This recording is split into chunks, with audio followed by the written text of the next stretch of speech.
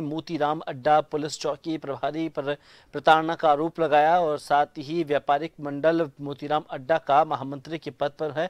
साथ ही मोतीराम अड्डा चौराहे पर एक नवनिर्मित चौकी का निर्माण हुआ है, जिसमें व्यापार मंडल ने अपना सहयोग भी किया और पूरे व्यापारी मिलकर दो लाख रुपए के सहयोग भी किया है। एक सुंदर चौकी का निर्माण कराया जा सके। साथ ही उन्होंने कहा कि अगर आज के समय में उसी चौकी के चौकी इंचार्ज द्वारा लगाया गया, व्यापारियों का उत्पीड़न किया जा रहा है।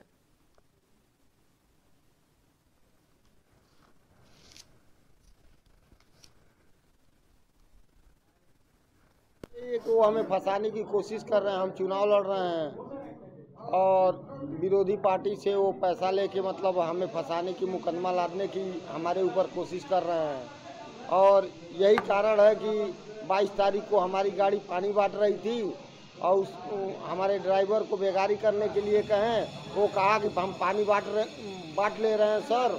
और उसके बाद पानी बांट के आएँगे तो हम अपने, आपके माल को पहुँचा देंगे, गेहूँ जो जो गेहूँ पहुँचाने के लिए कह रहे थे।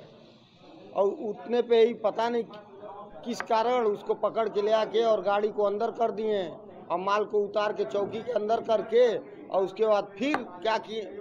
मतलब जब हम अपने मित्र संतोष जायसवाल को भेजें कि देख लीजिए क्या मामला है।